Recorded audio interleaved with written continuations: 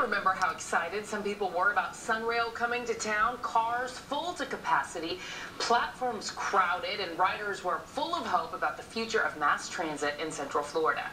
But not everyone is completely satisfied. In fact, some riders wish the trains ran longer during the day and on the weekends. There's even a petition by some of the people who are upset about what Sunrail doesn't offer. Ginger Gadsden joins us now to explain all of this. Ginger? Matt and Lisa, regular riders are saying Sunrail needs to expand its weekday hours and operate on weekends. One of those riders is David Porter. He's now spearheading a petition drive, and just yesterday he put this video on YouTube in hopes of getting Sunrail's attention, and it's already getting a lot of response from people who were initially excited about Sunrail.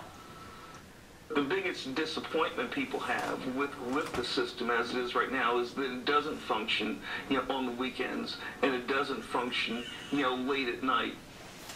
Porter says that people automatically assume the trains run each day. He says if Sunrail would take a look at its regular riders, like people who work in Orlando International Airport or the hospital systems who work irregular hours, the decision would be a no-brainer.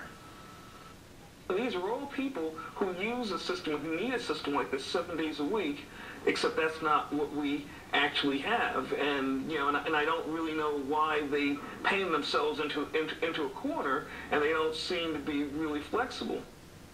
Now, we asked Sunrail to comment about the Change.org petition, and this is what they said in part.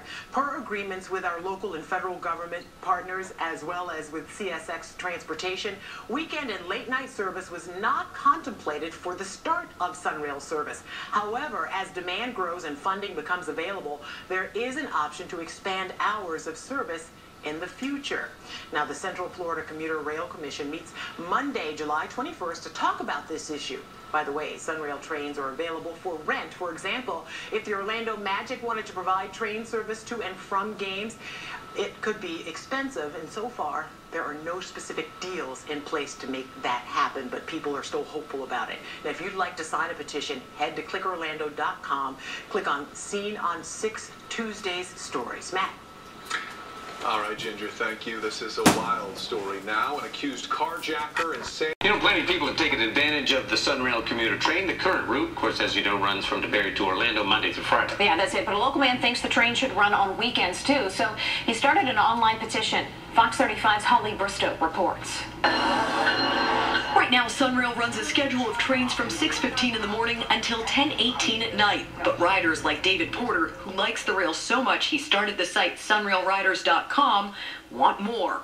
So he penned a change.org petition asking Sunrail to run later at night and offer weekend service. I'm a great fan of Sunrail. I want to see it reach its full potential. And so people are saying they're a little bit disappointed that all we get is five days a week. Porter says Sunrail could reel in a whole new demographic of passengers if they just ran an hour or so later during the week so people could take it home from a leisurely dinner or even a magic game. We, we, we see it, we love it, we ride it, we want it all the time. And I think that's a great compliment to Sunrail.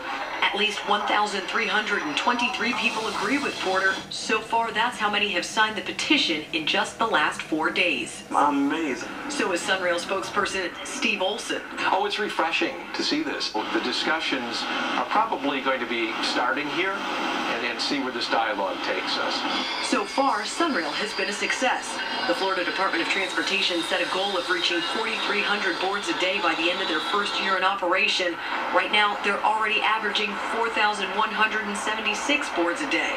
So what would it take for Sunrail to run later and on weekends?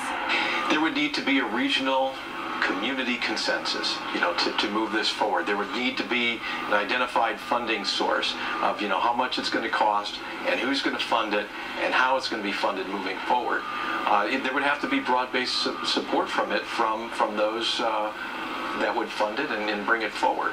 Olson says that decision would need to be made by FDOT along with lawmakers in Volusia, Seminole, Orange, and Osceola counties, as well as the city of Orlando.